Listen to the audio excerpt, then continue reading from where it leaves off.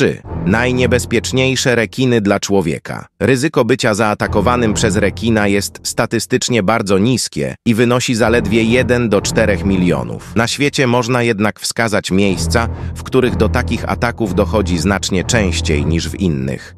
A co za tym idzie, ryzyko ataku rekina jest znacznie wyższe. Żarłacze tygrysie należą do tych gatunków rekinów, które najczęściej dokonują niesprowokowanych ataków na ludzi. Gatunki niebezpieczne dla człowieka to żarłacz biały, żarłacz tygrysi, żarłacz tempogłowy, tawroż piaskowy.